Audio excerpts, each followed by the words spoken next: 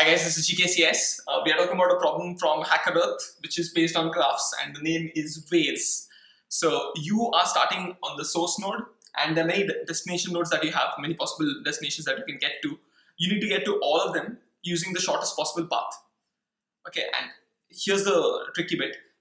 Getting to the node with the shortest possible path is what you need to do, but you also need to count the number of combinations of shortest possible paths that are there.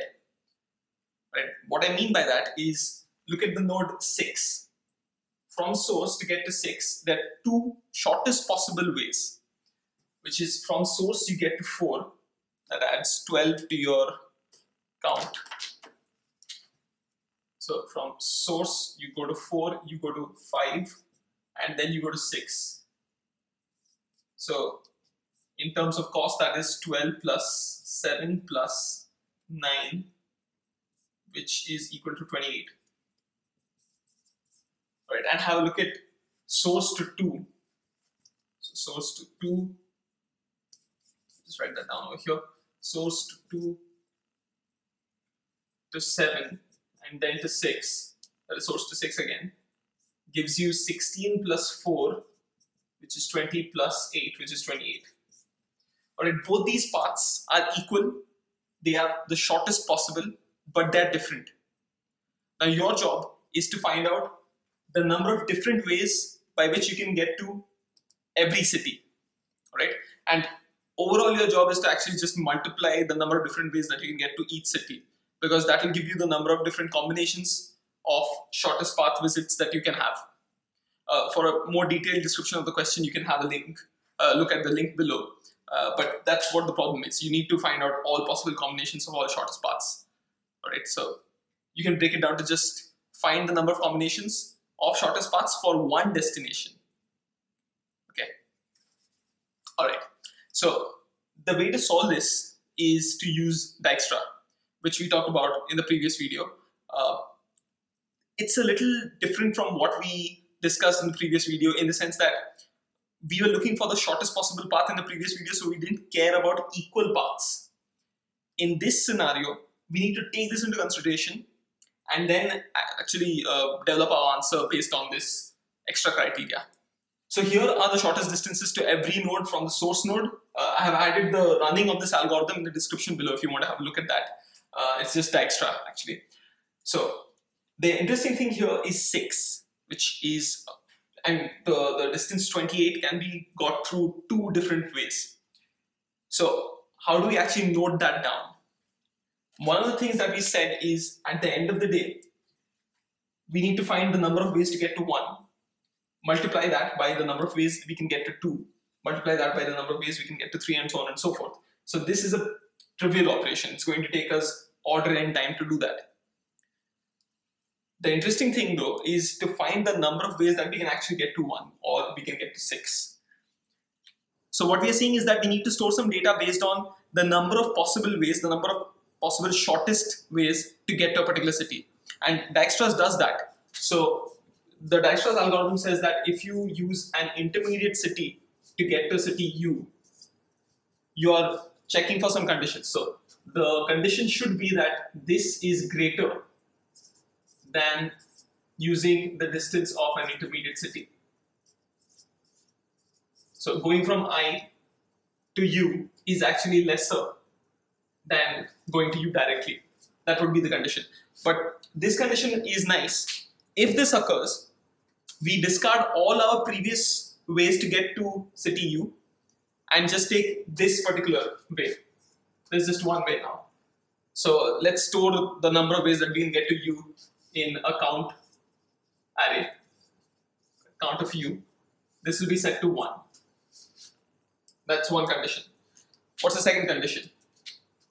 D of u can actually be less than d of i plus d of i comma u. If this happens, should we update count? No, it doesn't make sense because uh, this distance is worse. This is not going to affect the count of the number of shortest ways that we have because this is not a shortest way. Alright, so this is the second condition. Nothing happens to count. First condition, this is what happens to count. And finally, the third condition, this is looking like nodes actually, I'll just use a different color.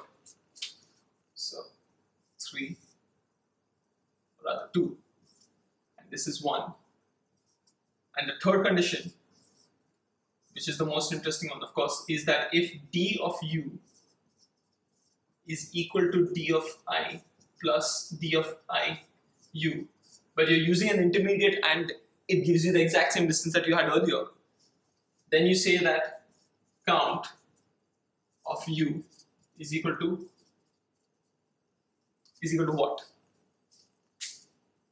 Logically, we can see that something needs to be added to this, right? The number of ways to get to u has to be added, but by how much? Two possibilities mainly. Uh, you're using an intermediate city, so should it be added by plus equal to count of i, the intermediate city, or should it be equal to count plus 1. Right, take your time, try to think of which, uh, which uh, condition you should use. The answer is, a uh, little surprisingly, this. You just add 1 to the count variable of u. So the shortest possible way is uh, to get to the city u is added by just 1. The reason for this is because you have already taken into consideration all the shortest possible ways that you could get to i. So you don't need to add that to u. Alright? Of course, logically, you have a set. You have a set of visited cities. Like in Dijkstra's, you have a set of visit, visited cities, and that is a, a fixed set. It's not going to change, it's concrete. So what you're looking for is from that set, from that set of visited cities, let's say this, how many ways can I touch this city? So this is one way from 5 and the only other way is from 4. Okay, the number of ways that you can go to 5 is irrelevant because it's already been taken into consideration when you have created this set. All that matters is the number of ways you can get to 6 using different cities from your visited site. So once you're using 5 as an intermediate city, what's going to happen is just 1 has to be added to the count of 6. If, if that is the shortest possible distance that you have found till this point. So we have this condition being used instead of using count of 5.